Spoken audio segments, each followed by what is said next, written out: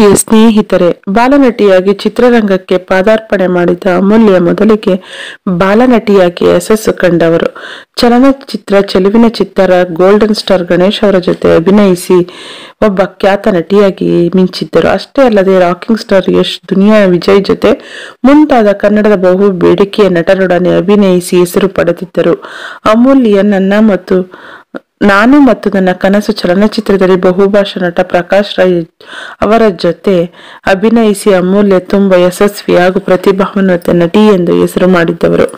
ಅವರು ಸ್ಯಾಂಡಲ್ವುಡ್ನಲ್ಲಿ ಬ್ಯುಸಿಯಾಗಿರುವಾಗಲೇ ಕನ್ನಡದ ಬಹು ಬೇಡಿಕೆಯ ನಟಿ ಅಮೂಲ್ಯ ಅವರು ಜಗದೀಶ್ ಎಂಬುವರೊಡನೆ ವಿವಾಹವಾಗಿದ್ದರು. ಅಂದಿನಿಂದ ಅವರು ತಮ್ಮ ಮೊದಲ ಮಗುವಿನ ನಿರೀಕ್ಷೆ ನಿರೀಕ್ಷಣೆಯಲ್ಲಿದ್ದು, ಇದೀಗ ತಮ್ಮ ಸಾಮಾಜಿಕ ಜಾಲತಾಣದಲ್ಲಿ ಪತಿಯೊಂದಿಗೆ ಫೋಟೋವೊಂದನ್ನು ಹಾಕಿಕೊಂಡು, ಇಬ್ಬರೆಲ್ಲ ಮೂವರು ಎಂದು ಸಾಮಾಜಿಕ ಸಾಮಾಜಿಕ ಜಾಲತಾಣವೊಂದರಲ್ಲಿ ಹಂಚಿಕೊಂಡಿದ್ದಾರೆ.